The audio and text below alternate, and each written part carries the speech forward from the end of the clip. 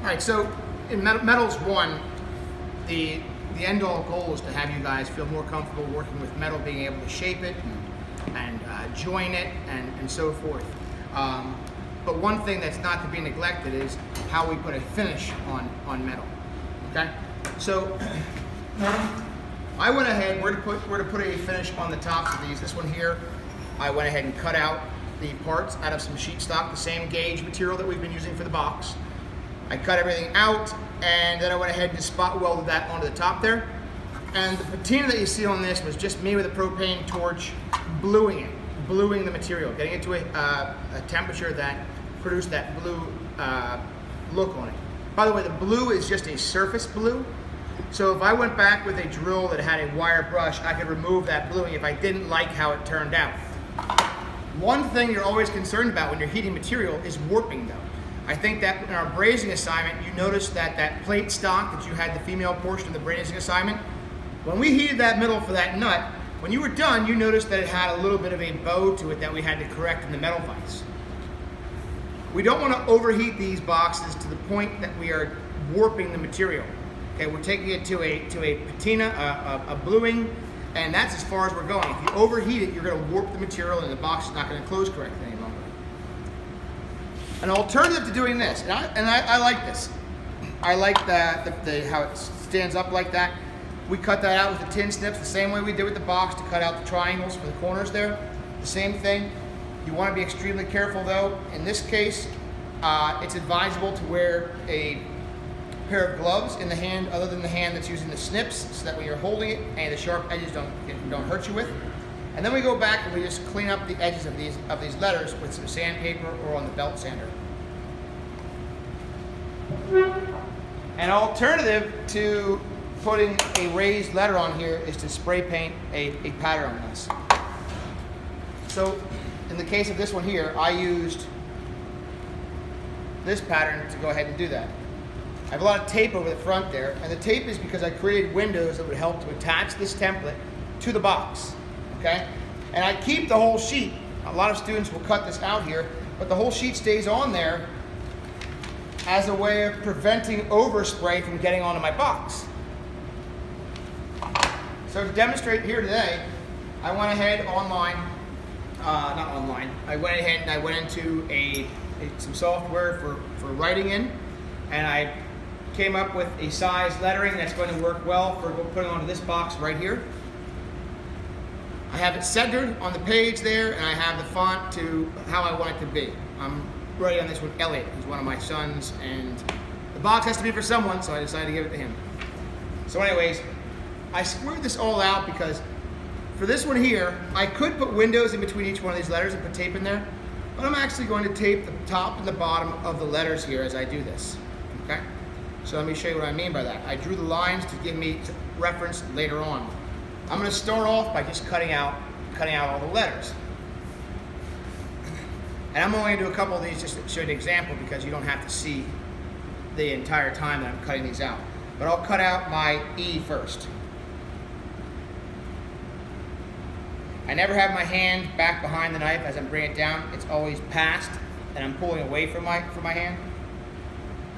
Very honestly, this tool right here scares me a lot more than some of the other tools that we have in the classroom here because it's often overlooked as, as being very mundane uh, and very safe, but it actually is potentially extremely dangerous.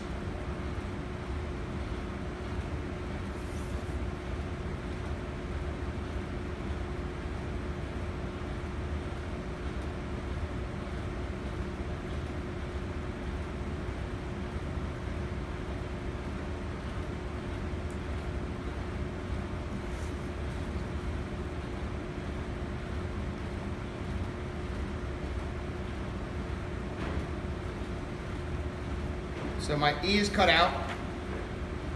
Now what I'm going to do also is I'm going to cut opening above the E, below the E, and anywhere that I have a straight line. I'm actually going to cut, so you see what I've done there?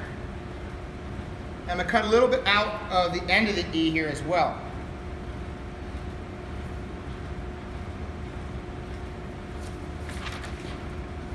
So I have that line showing where the end of the E was supposed to be. I have those lines showing the top and bottom of the E are supposed to be.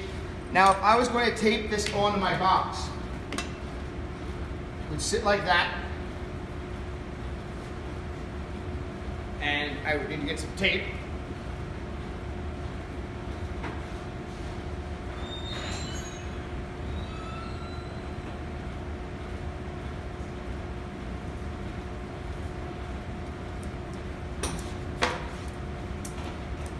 The tape has a straight edge, a factory edge, and it has a tape part that I tore. I'm not going to use the part that I tore, obviously. I'm going to use factory edge for this. So I'm going to put one of the factory edges up to the end of the E. Right on that line that I said was the, was the edge of the E.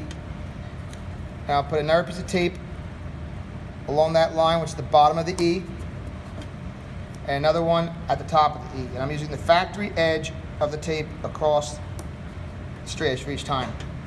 So you notice now that that piece is held down tight onto that onto this onto this piece here. That allows my, me to not get any spray that's going to go underneath my letters.